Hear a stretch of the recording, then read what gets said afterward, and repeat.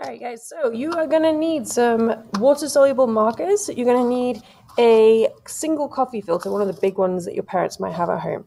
And what we're going to do is we're going to take the coffee filter, make sure you're doing this on an area that's nice and clean, make sure you're allowed to get this a little bit dirty because it might get a little bit wet once we are finished. What I want you to do is take your wonderful, bright, colorful markers. Ah, oh, that's so pretty. And what I want you to do is begin in the middle of our dot. Remember, it is International Dot Day, so we need to make our first little dot right in the middle. Once you've done that, we can start adding more colors. Remember when we put our caps on our lids, listen for that click, and you know that it's closed. Next color, I'm going to do an orange. Listen for that click. Maybe a blue would be cool. I might do a blue wavy line. Let's have a look. Followed by some lines. Oh, that looks cool. Looks like a bit like an egg. That's pretty cool. Listen for that click. Uh, I'm going to go for yellow. Oh, that looks cool. We want to try and cover the whole coffee filter in bright colors. Click. All the way around.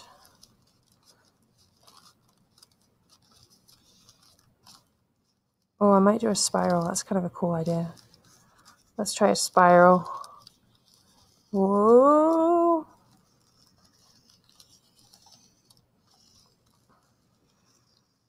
Oh, that's so cool. All right, I'm going to stop right there. Let's get a different color. Listen for that click.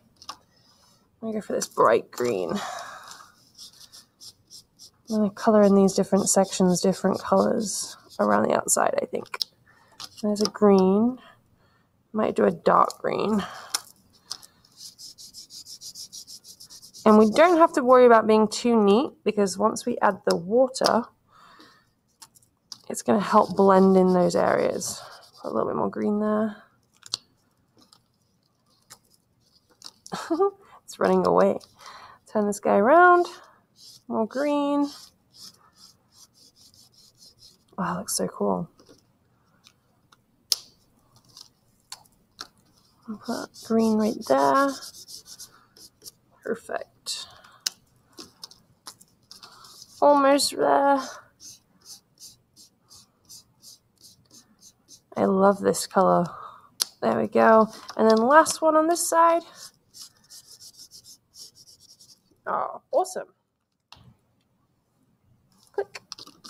Okay, I think I like it as it is. Actually, I might add a little bit of blue into this spiral right here. Oh, that's kind of cool. Oh, I like that. Right. Okay, get your markers out of the way. Make sure all your lids are on correctly because we don't want them drying up. Once you've done that, you need to find an area where you are allowed to make it a little bit wet. So I'm going to use either the paintbrush in the water, or if you have a spray bottle, you could use a spray bottle too. And what we want to do is we want to make this a little bit damp on the outside, and you're going to let it sit and dry. So let's take a look. I'm going to spritz. One, two, whoa. Let's try again. There we go. One, two, three, four.